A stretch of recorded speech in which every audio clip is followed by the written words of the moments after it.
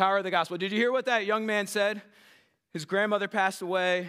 He was in a dark spot. He was talking to a friend. A friend took him to the Bible study. And at the Bible study, there was a man that, that sat down and he started drawing three circles. And he said, I thought this man was insane.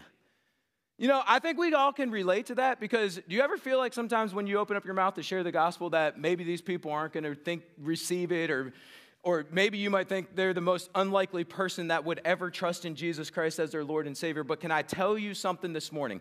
There is power in the truth of God's Word.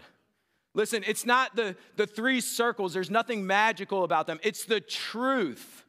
The fact that God has a design and a plan for all of us, but because of sin, we are broken. And brokenness relates to every single human being in the face of this world. And I love what we've sung about this morning the victory that we have in Christ, the healing that we have in Christ, the fact that we have strength, we have a rock and we have a redeemer, and that resonates and that speaks to our hearts because we are broken, and Jesus Christ is the answer. And there is power in the truth of God's word, and there is power in the gospel, the death, the burial, the resurrection of Jesus Christ. And that young man, sitting under the truth and hearing the truth of God's word, got saved. There's power in the gospel. Don't ever underestimate what God can do with the truth that sometimes we so often take for granted. The second thing I noticed in that video that I really loved was a transformed life. I've watched that a whole bunch of times, and every single time when he gets to the end of that video, he says, If God wants me to be a professional football player, well, that's fine and dandy. I loved how he said that. It's fine and dandy. If that's what God wants for me, great. But regardless of that, if he can use me to share the good news with others, that, that's where we need to be in our lives right there. And can I, can I tell you something?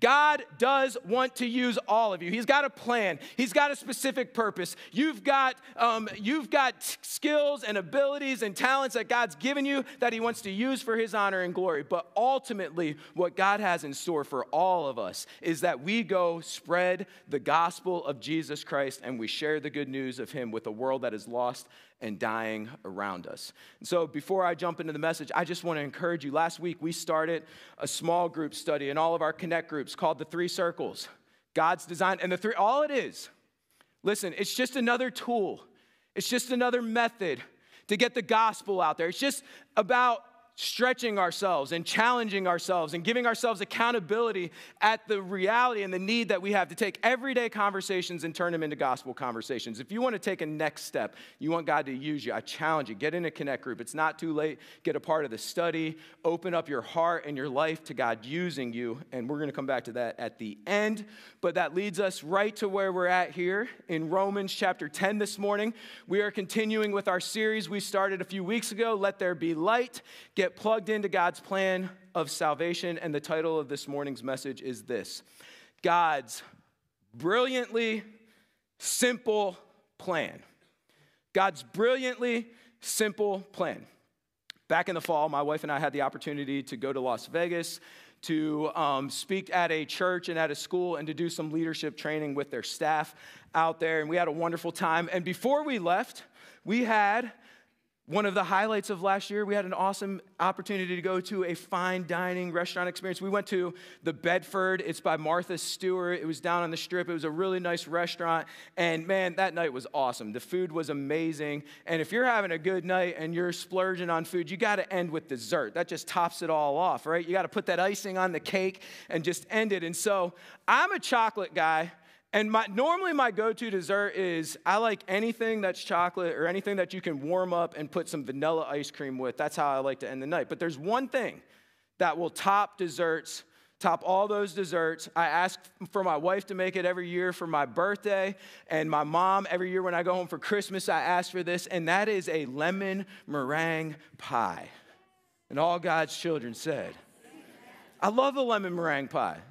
On the menu, on the menu was an upside down lemon meringue pie. Well, that instantly caught my attention. I was like, I'm gonna get lemon meringue to top this night off. Can it get any better? And upside down, that sounded intriguing. I mean, we're at a restaurant with a real chef, and so, you know, this is gonna be extra special. And I don't, I don't really know what I was expecting, maybe like a brown crust on top. I don't know what I was expecting. But what they brought out to me was not it. Now, go ahead and put the picture up. That's the dessert right there. Now, I got to tell you, when I, when I saw that, inside, I didn't say anything that night. I, I mean, we we're having a good time with our friends. I didn't say anything, but when I saw that in my heart, I was disappointed. that was not what I was expecting. I don't like white desserts. I just don't. That's not my flavor profile. And I was like, and for whatever reason, I thought, man, that's probably gonna be crunchy. And I don't even see any lemon. I'm sure it's in there. But I was just like, ah, this is gonna be a letdown. But you know what? Dessert is dessert. It's like pizza, folks. There's pizza, there's good pizza, there's bad pizza. But at the end of the day, it's pizza, right? What do you do? You eat it. Same thing, with, I'm not gonna pass up on a dessert, even if it doesn't look that appealing to me. So I took a bite, and when I took a bite, oh my goodness, it was the most, one of the most it's really bad if that's that extreme with food, but it was one of the most amazing experiences of my life. It was not at all what I thought. I mean, I was disappointed and then I was thrilled out of my mind. I was just excited. I was like, I mean, everything just worked perfectly together and the lemon inside. Oh my goodness, it was just, oh, it was doing things that were just Amazing. What a way to finish and end the night right there. How many of you wish you could go experience something like that right now? Okay. Fly to Las Vegas and go to the Bedford. All right. You know what was amazing about that is that is a brilliantly simple concept right there. It's basically three elements to that. You know what the upside down lemon meringue pie? It's, it's a you take the meringue and you make that a crust.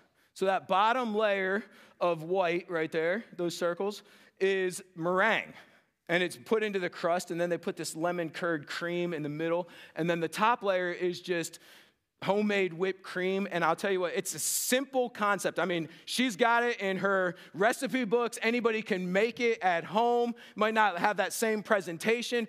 A brilliantly simple concept that was absolutely amazing. Can I tell you this morning? The gospel, the good news, the death, the burial, and the resurrection. You know what the gospel is? The gospel is Christ. The gospel is Jesus. And the context that we're in here in Romans 9 through 11, Paul is writing about the Jewish people. And when they saw Christ, when they saw the Messiah, they were disappointed. He was not at all what they were expecting.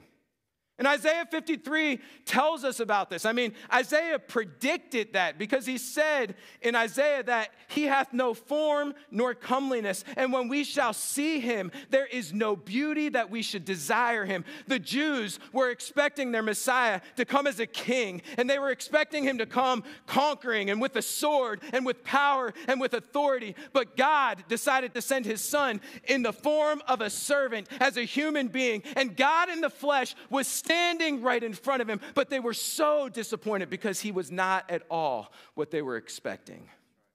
And instead of diving in, and instead of taking the leap of faith and trusting and having their eyes opened to the truth, they rejected him. They crucified him. They walked away from him. And you know what happened as a result? They missed out on one of the greatest opportunities and experiences of their life.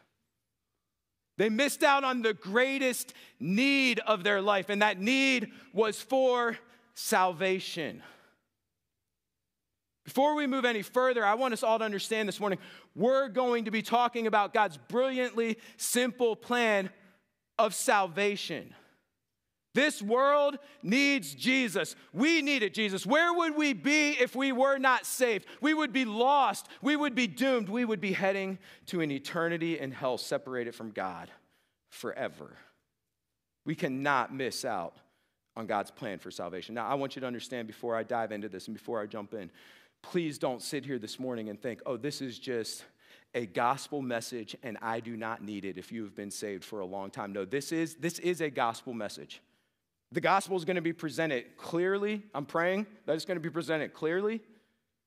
But there is so much in there for every single one of us as believers that needs to sink deep into our hearts and deep into our souls that we cannot afford to miss. And what I want to do before I move any further this morning is I would like everybody to bow their heads and close their eyes because I want God to use this message today to speak to us. Father, we come before you, and before we go any further into your word, I pray that our hearts would be humble and in the right place to receive your word. And I pray that you would take it today and do in every single individual's heart and life exactly what needs to be done.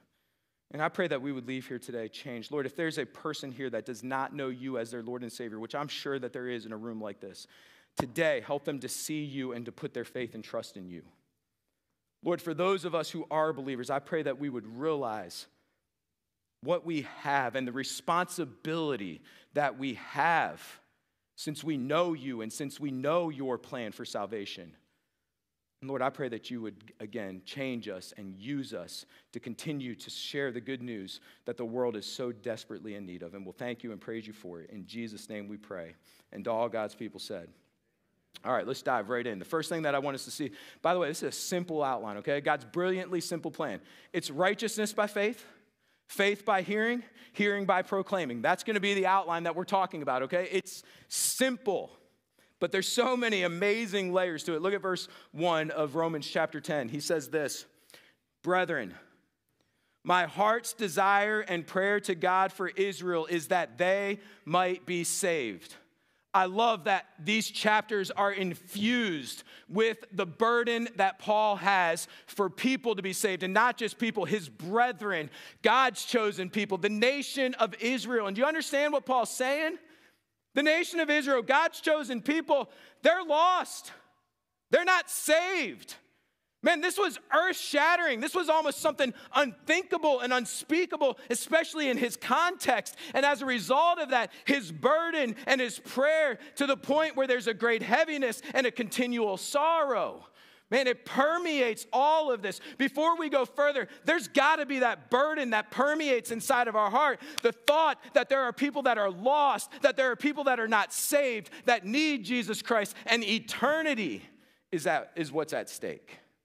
Let that just permeate your heart and your soul. Then in verse 2, he says, For I bear them record that they have a zeal of God, but not according to knowledge. Man, these people, they had a zeal for God. They were so close.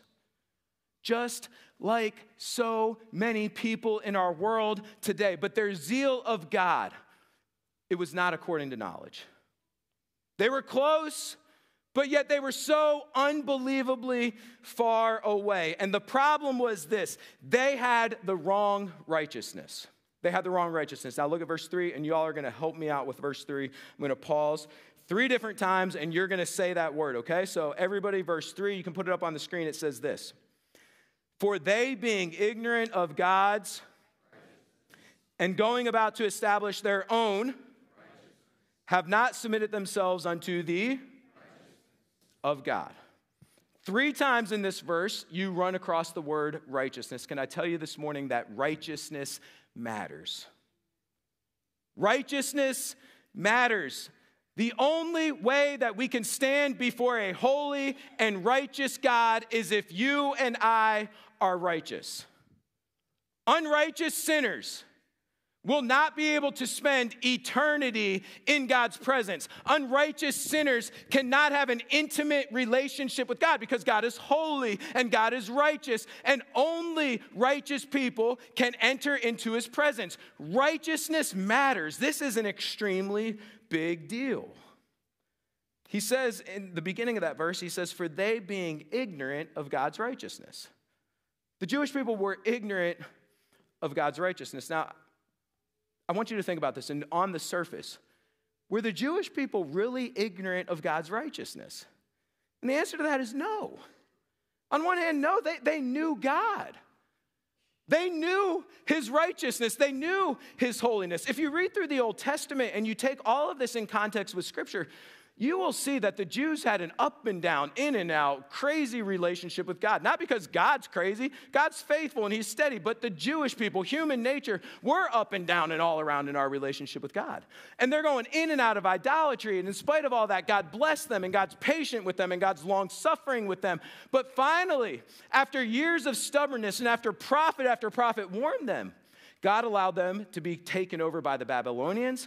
He removed them from their land. He took them into captivity for 70 years, but then God, in His mercy and His kindness, after 70 years, lets them go back into the promised land. And here we are, we're 400 years after this. Jesus shows up on the scene, and honestly, the Jewish people had been cured of their idolatry. For the past 400 years, they were worshiping the one true God. They were following the sacrificial system. They were obeying the laws. They knew God, they knew his righteousness. And yet it says here that they were ignorant. They could not rationally understand God's righteousness and what God wanted ultimately from them made absolutely no sense to them. They were ignorant by choice. They were ignorant because of their own hard heartedness. And instead of submitting to God's righteousness, you know what they did? They went out and they established their own righteousness. That's what it says. And going about to establish their own righteousness. Man, they religiously followed the law, they memorized the Word of God. Man, they took it literally. If it said to put frontlets in front of their eyes, I mean, they put it in front of their eyes. They attached it to their bodies. They hung it in their homes. I mean, they knew God's word. They debated it inside and out. They knew exactly how many laws there were given in the Old Testament. They would debate which is the greatest of all of these. Still to this day, they religiously follow law. If you were to go to Israel today, just one practical example, and you were there on the Sabbath day and you were staying in a hotel, you would not have to push a single button on the Sabbath day, they, they set all the buttons. And if you had to go to the 21st floor of a hotel in Jerusalem, you're going to have to stop at every single floor on the way up because they put all these precautions in place. Their heart, they didn't want to not just obey God's law, they didn't even want to put themselves close to disobeying it. So they added all kinds of extra things that would protect them from even coming close to violating the law that you're not supposed to work on the Sabbath day. The problem is, this was never what the law was all about. You know what God isn't looking for? God isn't looking for good people. Self righteousness is the wrong righteousness because you know why? There's no such thing. There's no such thing as self righteousness. My righteousness, the Bible tells me, is as filthy rags. And we already saw earlier in Romans that there is none righteous, no, not one. We are all sinners. We all fall short of God's glory. Now, to hopefully to illustrate this in a way that makes sense, I'm going to use myself. I clean up pretty nice, don't I? Man, I got layers on today. Look, I think I got a nice little outfit. Alana did a good job. Give Alana a good round of applause, man. She dressed me up this morning. I'm looking pretty good. You know, I t- Saturday mornings I trim up my beard, and on the outside I make sure that I, I get all all nice. I make sure my hair looks as good on Sunday as any other day out of the week. But even more than that, you know what else I did this morning? I got up early, went on a walk, been praying, been saturating my heart and mind in God's word. I'm up here this morning. I'm preaching the truth of God's word. Man, if you want to back up into this weekend, I did something really good this weekend. I, I went to the couples refresher at West Florida Baptist Church. I listened to Pastor Shetler. I realized that one of the things that my wife needs is she needs me to help her make her house a home. I vacuumed my floors yesterday. I went and did battle with her. I went to my boys and told them they had to clean their bathrooms and the shower. That's a battle, let me tell you. I didn't lose my temper. I stayed under nobody did yesterday. My boys were they were even good yesterday, man. Everybody just worked together. We had a really nice day. We had a really nice night. And you know what? I could sit up here and I could tell you on and on about how good I am, and you know what you would start doing? You would start squirming, you'd start getting uncomfortable. You might even be right now because there's just something that's wrong about that, right? There's something off putting. Because no matter how good I may look on the outside, and no matter what kind of pedestal you might want to put me on, I know who I am. And I am a sinner. And I'm broken and I got struggles and I got issues, and no one is shaking their head harder right now than my wife sitting on the front row. She's like, Yes, that is absolutely true. You understand what I'm saying? I'm looking at a room full of good people by the world standards, model citizens, People that really, truly make a difference.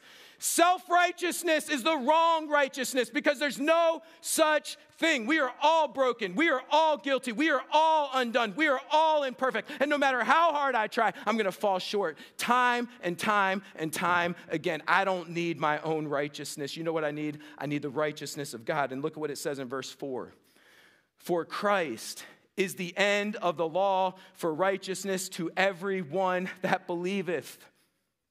You know what we need? The right righteousness. And you know what the right righteousness is? It's Christ's righteousness.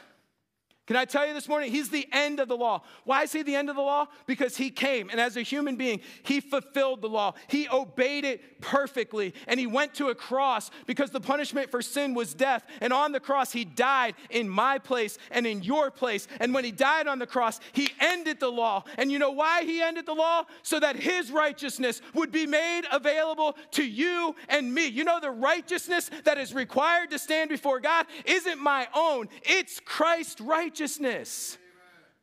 I need to put off myself. Doesn't matter how good or how clean or what you think of me on the outside. I need something that is outside of myself. I need the righteousness of Jesus. And you know how I get it? By faith. By faith. I've got to recognize that there's absolutely nothing that I can do to save myself. I've got to recognize that I am broken and I am dirty and I am a sinner. And I've got to believe that on that cross, he died to pay for my sins. And I got, got, to believe that what he's offering me is what I need, and that is his righteousness. And by faith, I've got to set all of myself out of the way, and I got to go over there and I've got to say, I need the righteousness of Jesus Christ. And that's what I go get, and that's what I put on. You understand what we're talking about this morning? That is righteousness by faith. And without Christ's righteousness, there's no heaven. Without Christ's righteousness, there's no intimate relationship with God in this life. Practical application stay burdened.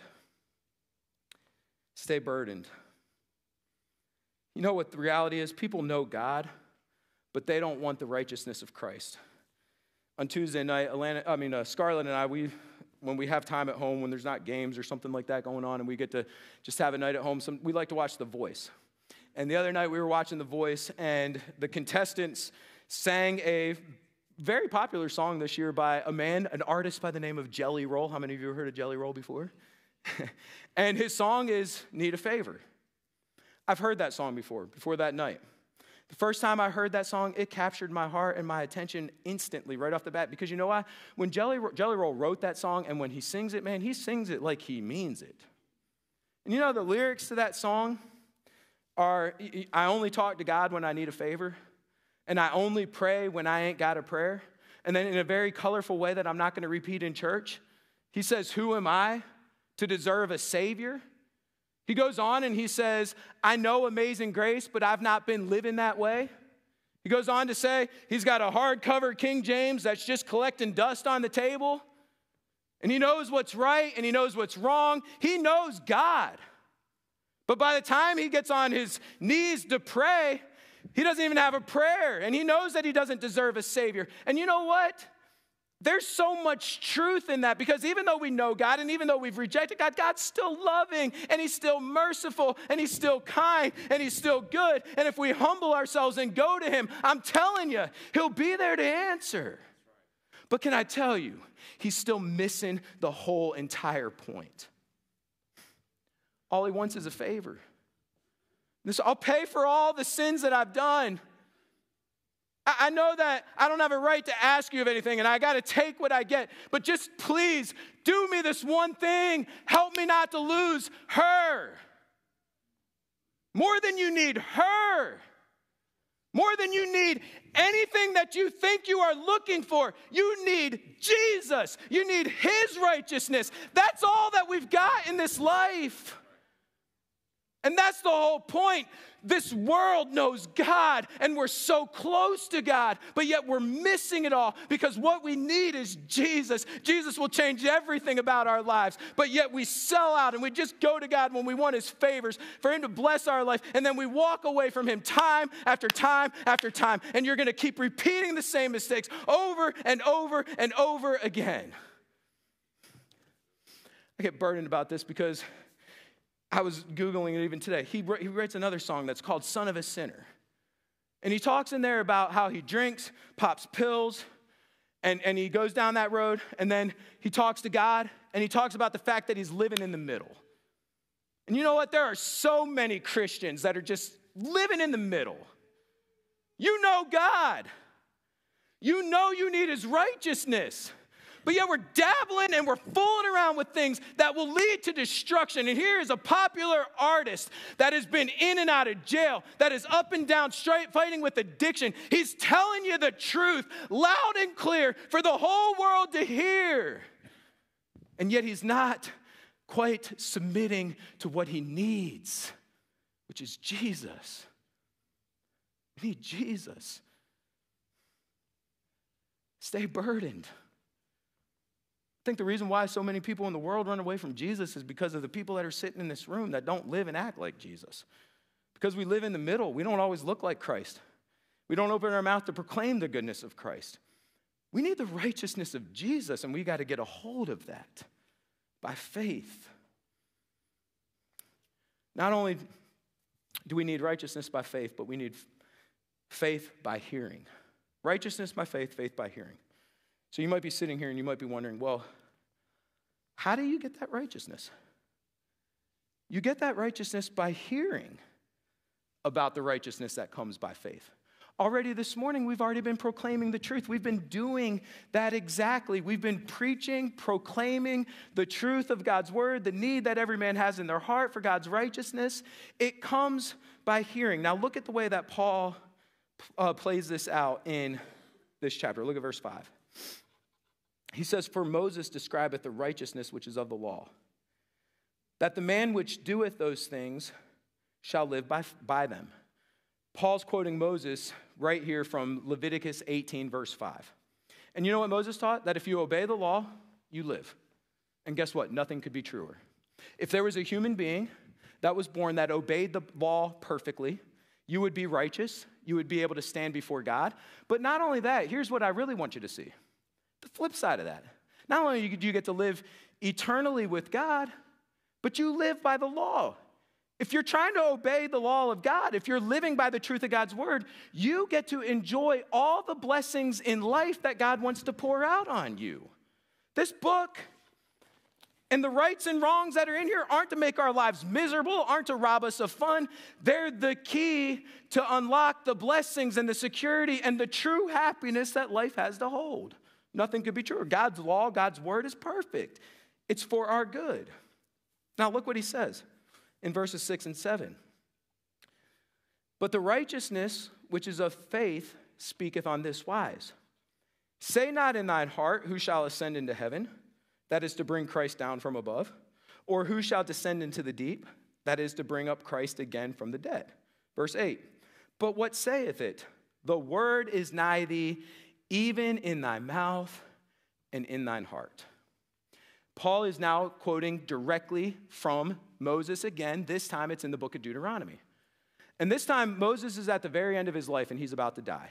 And you know what he does? He brings all of Israel together, he gathers them all in, and he is imploring them. He's begging them obey God. If you obey God, God will bless you. If you disobey God, God will curse you. Man, he lays it all out. He's imploring them, he's begging them. And then he says this it's not as if God is far from you. You don't have to ascend into heaven to find him.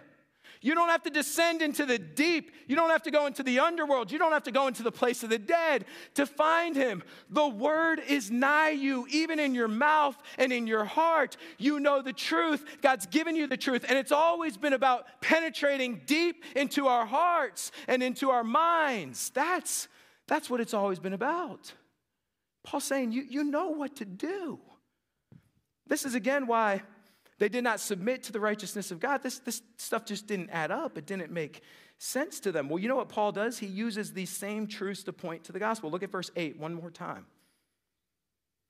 But what saith it? The word is nigh thee, even in thy mouth and in thine heart. And everybody read that last phrase out loud with me. That is the word of faith which we preach. You know what Paul is telling us today?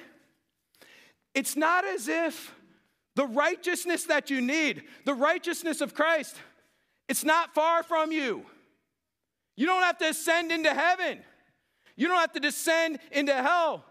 You don't have to go anywhere. It's, it's right here. It's available. It's the word of faith that we're preaching. It's the fact that we're broken and we're sinners and Jesus loved you and he died. And all you got to do is by faith believe on him and you can have his righteousness. It's right here.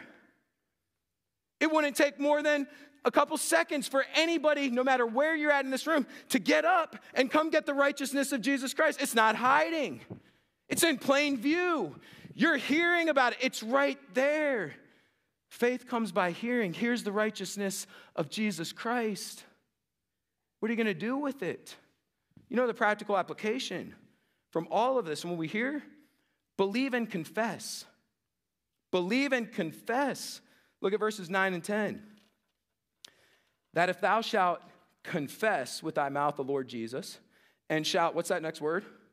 Believe in thine heart that God hath raised him from the dead, thou shalt be saved. For with the heart man believeth unto righteousness, and with the mouth confession is made unto salvation. Then jump down and look at verse 13. For whosoever shall call upon the name of the Lord shall be saved. You know what this is saying right here? Faith comes by hearing. The word of faith is being preached and proclaimed. You are hearing it. So, what do you need to do with it? You need to believe and you need to confess. Inward belief, outward confession go together. They fit perfectly together. You really cannot have one without the other, okay? So, here's how it works with the heart, you believe. You've heard the truth this morning. And the reality is, you either believe it or you don't. You either believe that you need Jesus and He's your only way of salvation, and His righteousness is the only righteousness that will make you be able to stand before God.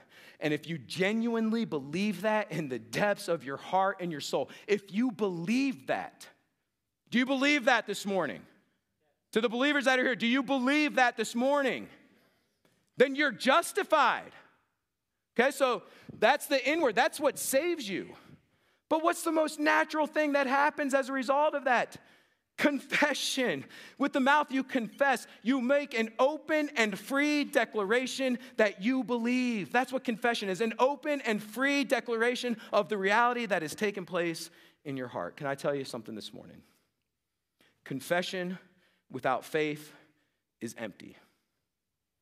There are so many people that when they find themselves in a jam, and there have been so many people that I've talked to, there's been so many people that have come to our church through the years that get themselves in a bind and they do exactly what they should do. They run to Jesus, they know the truth.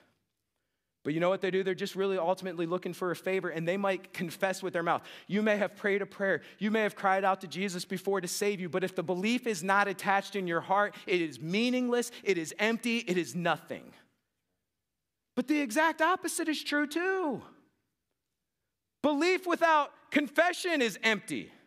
There are other people that sit and they hear the truth of God's word and they believe it and they know it the Holy Spirit is talking to you and He's convincing you that it is true what you are hearing, but yet you're scared of what other people will think and you're scared of the changes that might result in your life as a result of it. And you know what you do? You sit there and for the sake of somebody else, you're not willing to make that open and public profession and you end up walking away from the very thing that you need.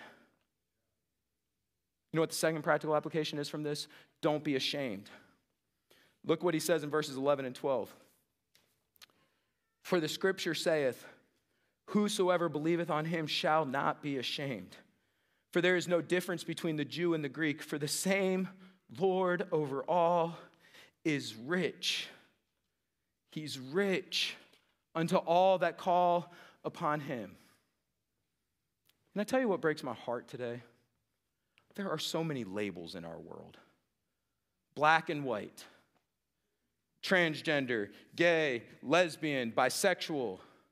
male, female, conservative, liberal, Democrat, Republican. I could go down the list. We could sit here all day and we could throw out labels. And you know what? We live in a sin cursed world. And as long as we live in a sin cursed world, labels are going to be highlighted over and over again because Satan is a great divider. And you know what he wants to do? He wants to put division between people. And you know what the gospel is? The gospel is the answer. The righteousness of Jesus is the answer because it doesn't matter how you identify yourself, it doesn't matter how the world identifies you. It only matters how God sees you. And He sees you as a human being created in His image and likeness. And He loved you enough to go to a cross. And if you call on the Lord, you can become His child. This is the answer. Man, there are so many people that, that reject God, but yet they're like, there's a lot of Mother Teresa's in this world. They might not necessarily, and I'm not saying, they're, they're not necessarily saying that they don't believe in God, but they don't believe that Jesus is the only way to heaven. They don't believe that He is the way, the truth, and the life. And you know what they're trying to do? They're out there trying to do good things and to make a profound difference and to bring healing together. Apart from Jesus Christ, there will never be healing. There will only be a broken world. The Lord is rich unto all that believe in him. Believe and confess. And don't be ashamed. You know, when I was talking to, to those of you that already believe, because this is heavy salvation, right? This heavy gospel. To those of us who have believed, confess. Open up your mouth and proclaim the good news of Jesus. Don't be ashamed of who he is. Don't be ashamed of your story. Don't be ashamed of your testimony. Don't be ashamed of what he's done in your life. And last but not least, and we are done hearing by proclaiming, righteousness by faith, faith by hearing, hearing by proclaiming. Look at verse 13. For whosoever shall call, upon the name of the Lord shall be saved. And then verses 14 and 15, beautiful. How then shall they call on him who they have not believed? How can the world call on somebody in whom they've not believed? And how shall they believe in him of whom they've not heard? How, how can you believe if you don't hear? And how shall they hear without a preacher? And how shall they preach except they be sent? As it is written, how beautiful are the feet of them that preach the gospel of peace and bring good, uh, glad tidings of good things. My, my first practical application, originally I had down, my first practical application was going to be this have beautiful feet. But I changed that because my wife takes that very extremely literally. Because you see, she had the opportunity to go and she gets her nails done, and every now and then she'll get a pedicure. And for over a year, she was able to witness to her nail lady, and her nail lady got saved and trusted in Jesus as her Lord and Savior. So now she tells me all the time she's got to have beautiful hands and feet because that is her ministry. She's got a new one now that she's working on. So, man, every six weeks, got to shell out the money. But you know what? I learned yesterday it's a win win, man. I can be a good husband and share the gospel of Jesus Christ at the same time through my wife right there. That's a silly illustration, but seriously, seriously, how beautiful are the feet of them that preach the gospel of peace and bring glad tidings of good things. Do you believe that? The gospel is glad tidings of good things. Surrender to the call. It's the last application surrender to the call. Paul may have been talking about himself when he was talking about the preachers being sent. And I want to say this this morning.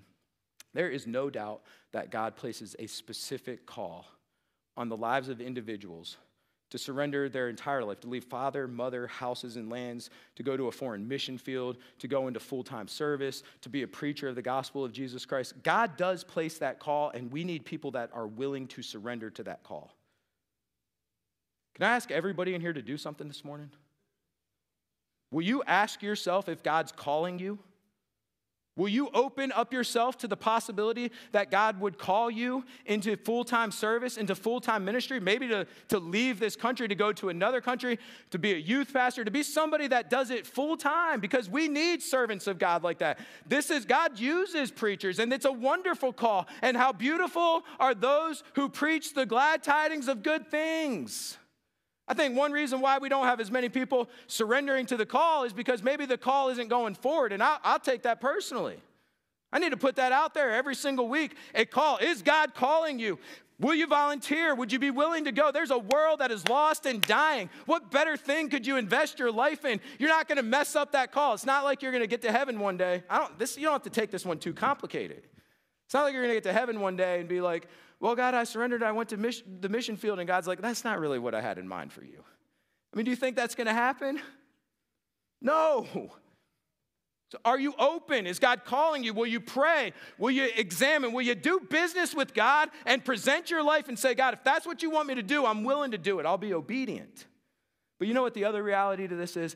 The call has gone forward to every single individual. The last thing Jesus said before he ascended into heaven go into all the world and preach the gospel.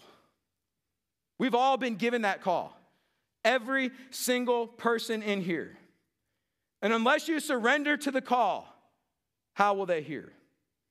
And if they don't hear, how will they believe? And if they don't believe, they won't call on the name of the Lord. And if they don't call on the name of the Lord, if they don't call on the name of the Lord, they perish.